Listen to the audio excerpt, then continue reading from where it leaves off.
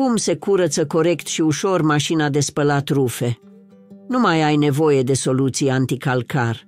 Mașinile de spălat cu încărcătură frontală sunt eficiente din punct de vedere energetic și folosesc mai puțin detergent decât cele cu încărcare superioară, dar uneori au tendința de a păstra mucegaiul și mirosurile neplăcute.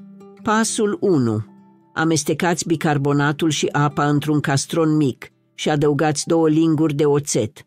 Această soluție va fi detergentul pentru curățarea mașinii de spălat. Se toarnă, separat, oțetul într-un vas. Pasul 2.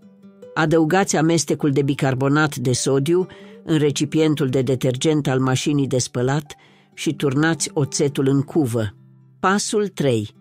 Porniți mașina de spălat la temperatura maximă, de regulă programul pentru lenjerii și prosoape și o lăsați să-și facă treaba până la capăt. Pasul 4. După ce ciclul de spălare s-a încheiat, curățați cu un burete de bucătărie uzual ușa, garniturile din cauciuc și cuva. Nu uitați desertarul pentru detergent. În final, clătiți bine cu apă.